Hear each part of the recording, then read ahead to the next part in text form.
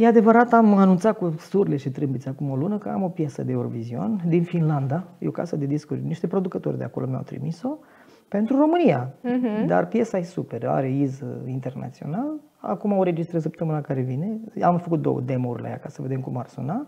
Mi se pare wow. Doamne ajută să țină România, că deocamdată nu se știe, s-ar putea ca România să nu mai vrea să participe anul ăsta, ceea ce ar fi horror. Da, pentru că a luat 0 puncte băiatul de anul trecut Teodor. și s-au supărat.